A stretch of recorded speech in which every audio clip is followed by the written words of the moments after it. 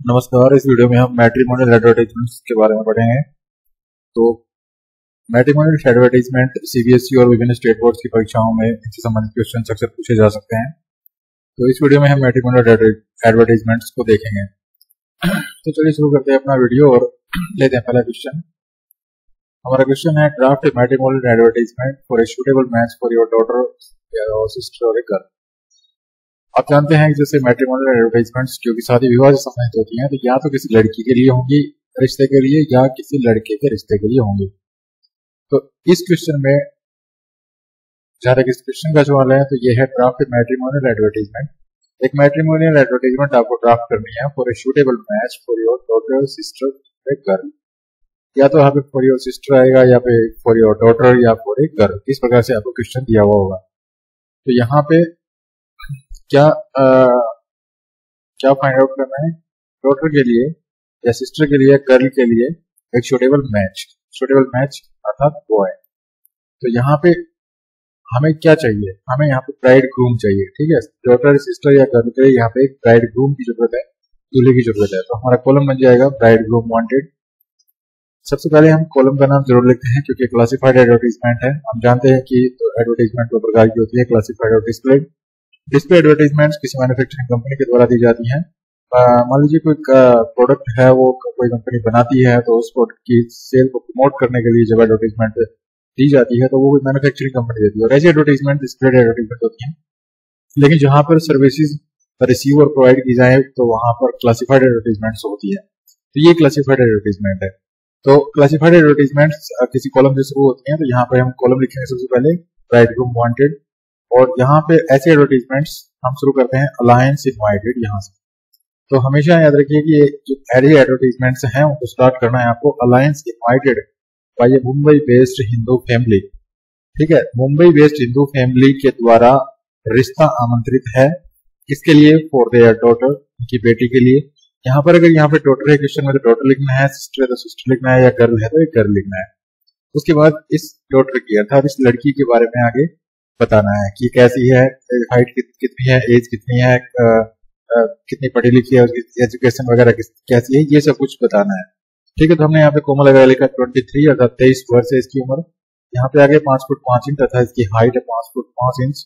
उसके बाद है फेयर अर्थात जो रंग है वो गोरा है। उसके बाद ब्यूटीफुल सुंदर है स्लिम पतली है कल्चर्ड संस्कारवान है गुड लुकिंग देखने में सुंदर है एंड डायनेमिक डायनेमिक का मतलब होता है फुर्तीली काम करने में चुस्त तो डायनेमिक है। आगे लिखा ग्रेजुएट फ्रॉम दिल्ली यूनिवर्सिटी और दिल्ली यूनिवर्सिटी से ग्रेजुएट है। ये यहाँ तक जो है हमने लड़की के बारे में लिखा है। ठीक है, ये लड़की के बारे में तभी लिखना है जब यहाँ पे आपसे लड़की के बारे में क्वेश्चन पूछा गया और लड़की के लिए कोई वर्क की तलाश करने के लिए एडवर्टाइजमेंट लिखने के लिए कहा गया हो। ठीक है तो जिसके लिए कहा गया हो, उसके बारे में सबसे ऊपर लिखना है ऐसे। और कॉलम इससे उल्टा बनेगा, यहाँ पे टोटल सिस्टर या गर्ल है तो जो कॉलम का नाम होगा वो उल्टा होगा। अर्थात यहाँ पे ब्राइड ग्रूम हम लिखेंगे दुल्हा, ठीक है, वधु वर चाहिए। तो ब्राइड ग्रूम वांटेड लिखेंगे यहाँ। सबसे पहले हमने लड़की के बारे में बताया, उसके बाद हमने लिखना है लड़के के बारे में कि लड़का कैसा हो। तो यहाँ आगे लिखना है, द बॉय मस्ट बी जो लड़का है, वो अवश्य होना चाहिए हैंडसम अर्थात सुंदर मोटिवेटेड उसके बाद very well settled in business या तो हमें लिखना है very well settled in business अर्थात बिज़नेस में अच्छी तरह से सेटल होना चाहिए। या फिर हम लिख सकते हैं in a good government job अर्थात एक अच्छी गवर्नमेंट जॉब में है। और बिटवीन 24 और 28 या हम यहाँ पे एज दे रहे हैं यहाँ पे जो लड़का है, जो चाहिए वो 24 या 28 के बीच में टेटो डालर का मतलब होता है कि जो नशा है उसका आदि नहीं होना चाहिए, शराब वगैरह धूमपान वगैरह वो नहीं करना चाहिए। ठीक है तो यहाँ पे स्लैश लगा रखा है, ध्यान दीजिए यहाँ पे। तो हम यहाँ पे वेरिएबल सेटल्ड इन बिज़नेस या तो ये लिखेंगे या इन गवर्नमेंट जॉब ये लिखेंगे। दोनों नहीं लिखेंगे। ठीक है, दोनों अर्थात वेरिएबल सेटल्ड इन बिज़नेस या इन गवर्नमेंट जॉब ये नहीं लिखेंगे, दोनों इनमें से हम एक लिखेंगे। उसके बाद हम, हमारी जो एड है वो समाप्त हो गई है। अर्थात यहाँ से और यहाँ तक हमें देख रहे हैं हम, यहाँ से और यहाँ तक हमने लड़के के बारे में लिखा है। ठीक है? तो सबसे पहले हमें लड़की के बारे में लिखना है और स्टार्ट करना है अपनी जो एड है वो यहाँ से alliance invited by a Hindu based sorry Mumbai based Hindu family तो यहाँ से स्टार्ट करना है फॉर देयर डॉटर ठीक है? ये तो हो जाएगी फ़र्स्ट लाइन जो हमेशा आपको लिखनी है alliance invited by a Mumbai based Hindu family for their daughter यहाँ से। उसके बाद डॉटर के बारे में अगर कहा है शुरू में हम डॉटर के बारे में लिख रहे हैं तो सबसे पहले डॉटर के बारे में बताना है। उसके बाद लड़के के बारे में बताना है। जैसे ठीक है यहाँ पे जैसे हमने यहाँ पे लड़की के बारे में बताया सबसे पहले और उसके बाद लड़के के बारे में बताया है। ठीक है? कब बताना है ये? जब हमारा क्वेश्चन डॉटर सिस्टर या गर्ल के लिए कोई लड़के ढूँढने के लिए एडवर्टीजमेंट लिखवाई जा रही है तब। उसके बाद लास्ट में हम आ, अपना एड्रेस नहीं लिखना है हमने लिखना है राइट टू ठीक है राइट टू वर्ड लिखने हैं। राइट टू के बाद बॉक्स नंबर ये कुछ भी लिख देना आप दो, तीन, चार, या चार सौ, पैंसठ, सात सौ, अस्सी, नौ सौ अठावन या फोर डिजिट्स में भी आप लिख सकते हैं। उसके बाद किसी न्यूज़पेपर का नाम लिखना है टाइम्स ऑफ़ इंडिया उसके बाद सिटी का नाम लिखना है न्यू दिल्ली ठीक है तो इस प्रकार एक मेट्रीमोनियल एडवर्टीजमेंट आप लिख सकते हैं। यहाँ पर जो alliance invited by a Mumbai based Hindu family यहाँ इस लाइन को देखिए। यहाँ पे अगर क्वेश्चन में अगर कह रहा है दिल्ली बेस्ड है तो आप यहाँ पे दिल्ली बेस्ड देखना है। ठीक है मतलब इस पूरी एडवर्टीजमेंट में जो इन्फॉर्मेशन आपको क्वेश्चन में अगर दी गई है तो वही इन्फॉर्मेशन आपको यहाँ पे लिखनी है। अगर क्वेश्चन में नहीं दी गई है तो आप अपनी तरफ़ से लिख सकते हैं, अर्थात इस, ये जो एड है, इसको अच्छी तरह से याद कर सकते हैं और ये एड भी लिख सकते हैं। लेकिन अगर कोई इन्फॉर्मेशन क्वेश्चन में दी गई है तो वो वही लिखनी है। मान लीजिए क्वेश्चन में कहा गया है कि जो लड़की है, वो दिल्ली में रहती है तो यहाँ पे आपको दिल्ली बेस्ड लिखना है। ठीक है, फिर उसके बाद में अगर कोई, अगर वो उस लड़की की भी कास्ट दे रखी है अगर वो अग्रवाल है या गुप्ता है तो यहाँ पे हमें लिखना है अग्रवाल फैमिली या गुप्ता फैमिली ठीक है, ये चीज़ें ध्यान रखनी है। उसके बाद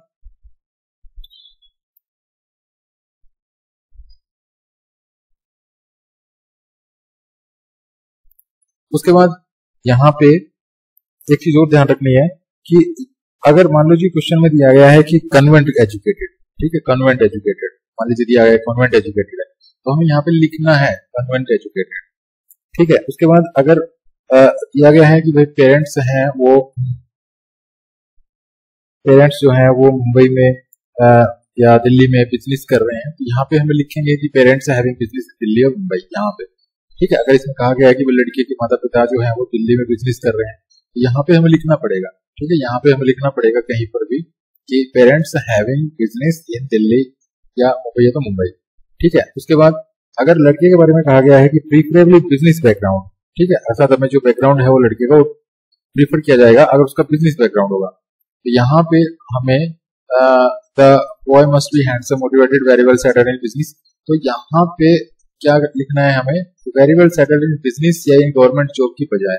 यहाँ पे हमें लिखना है कि having business background having business background या business background will be preferred ये सब चीज़ें लिखनी है। तो कुल मिला के जो जो इन्फॉर्मेशन हमें क्वेश्चन में दी गई है, वो इन्फॉर्मेशन यहाँ पे इनपुट करनी है। अदरवाइज़ ये जो है, जो कुछ भी यहाँ पे लिखा है मैंने, इसको आप जो कहते हो कॉपी करके लिख सकते हैं। ठीक है? उसके बाद हम चलते हैं अगले एड पे अपने पे। तो यहाँ पे है draft matrimonial advertisement for a suitable match for your son brother your boy यहाँ पे उल्टा है। यहाँ पे सन ब्रदर या बॉय के लिए सुटेबल मैच चाहिए, अर्थात लड़की चाहिए। तो क्या चाहिए? लड़की चाहिए, अर्थात वधु चाहिए। तो यहाँ पे हम कॉलम बनाएँगे ब्राइड वांटेड ठीक है? ब्राइड का मतलब होता है वधु, दुल्हन।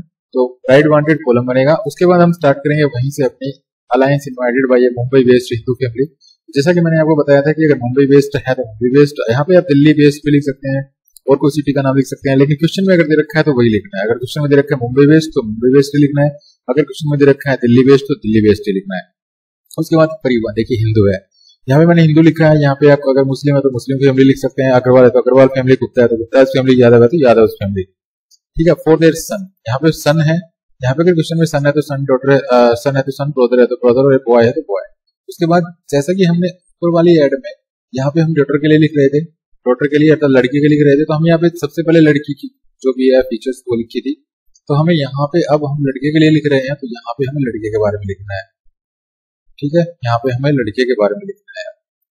तो यहाँ पे ये यह हमने यहाँ पे गलत लिख दिया, इसको हम हटा देते हैं यहाँ से ये हमें ज़रूरी नहीं है। अब यहाँ देखिए alliance invited by Mumbai based Hindu family for their son यहाँ पे उम्र हो गई पच्चीस साल, पाँच फुट पाँच इंच की हाइट हो गई। हैंडसम है मोटिवेटेड है very well settle in business ठीक है? ये लिख सकते हैं in a good government job लिख सकते हैं या या तो very well settle in business ये लिख सकते हैं। या in a good government job ये लिख सकते हैं। या working in top private company in Bangalore ठीक है, या ये लिख सकते हैं कि भाई कहीं पर भी किसी टॉप कंपनी में काम कर रहे हैं। आप बैंगलोर है तो बैंगलोर लिख सकते हैं कुछ भी लिख सकते हैं। आपको सिर्फ़ ये बताना है कि ये प्राइवेट कंपनी में काम कर रहे हैं। कहाँ कर रहे हैं वो? अपनी मर्ज़ी से आप लिख सकते हैं। Working in private company Bangalore लिखा है मैंने। आप जयपुर लिख सकते हैं, दिल्ली लिख सकते हैं, गुरुग्राम लिख सकते हैं। उसके बाद टेटो डॉलर अर्थात मध्य वगैरह जैसा मध्यपान नहीं करता है तो नशे वगैरह का भी नहीं है। तो यहाँ पे हम देख रहे हैं कि हमने यहाँ पे क्या लिखा है? लड़के के बारे में लिखा है। क्योंकि हमें क्या चाहिए? ब्राइट चाहिए। सबसे पहले हम, आज हमारी इंट्रोडक्शन है, इसकी एडवर्टाइजमेंट की वो हमने दी है सन से। तो हमने सन के बारे में लिखा है सबसे पहले। आप किसके बारे में लिखेंगे? लड़की के बारे में लिखेंगे। तो हम आगे लिखेंगे द गर्ल मस्ट बी जिस प्रकार से ऊपर वाली एड में लिखा था बॉय मस्ट बी तो अब लिखेंगे the girl must be the girl must be fair होनी चाहिए, अर्थात गोरी होनी चाहिए ब्यूटीफुल सुंदर होनी चाहिए स्लिम होनी चाहिए कल्चर्ड होनी चाहिए गुड लुकिंग होनी चाहिए डायनामिक होनी चाहिए, ठीक है? और ग्रेजुएट फ्रॉम दिल्ली यूनिवर्सिटी अर्थात यहाँ पे हम ये ना लिखे ग्रेजुएट फ्रॉम दिल्ली यूनिवर्सिटी हम यहाँ से लिख सकते हैं। वेल क्वालिफाइड ठीक है? यहाँ पे हम लिख सकते हैं well qualified Q U A sorry capital में लिखा जा रहा है वेल क्वालिफाइड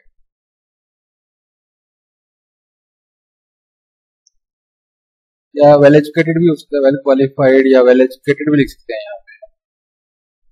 वेल एजुकेटेड ऐसे लिख सकते ठीक है तो ये हमने यहाँ पे लड़की के बारे में बताया। उसके बाद write to box number two three four the Times of India New Delhi यहाँ पे हमने इसको फिर अगर अगर कोई भी इससे मैच करता हो तो वो वहाँ कॉन्टेक्ट करे। वहाँ बॉक्स नंबर दो सौ चौबीस Time of India New Delhi यहाँ पे संपर्क करें। यहाँ पे आप किसी भी न्यूज़पेपर का नाम लिख सकते हैं Times of India Times of India Tribune है तो ट्रिब्यून लिख सकते हैं, और हिंदुस्तान टाइम्स भी लिख सकते हैं। तो आप कुछ भी लिख सकते हैं यहाँ पे। ठीक है, यहाँ सिटी का नाम भी आप कुछ भी लिख सकते हैं। लेकिन अगर, मैं बार बार कह रहा हूँ, अगर क्वेश्चन में अगर इस कोई भी इन्फॉर्मेशन दे रखी है एक्स्ट्रा तो आपको वो यहाँ पे ज़रूर पुटअप करनी है, यहाँ पे ज़रूर लिखनी है वो। ठीक है तो ये थी मेट्रिमोनियल एडवर्टीजमेंट लड़के के बारे में। ऊपर हमने देखा था मेट्रिमोनियल एडवर्टीजमेंट लड़की के बारे में। ठीक है तो ये एडवर्टीजमेंट थी मेट्रिमोनियल एडवर्टीजमेंट अगर वीडियो पसंद आया अगर तो इसको लाइक कीजिए चैनल को सब्सक्राइब करना भूलिए और इस जो वीडियो है, इसको शेयर करना भी ना भूलें। Thanks have happy learning bye bye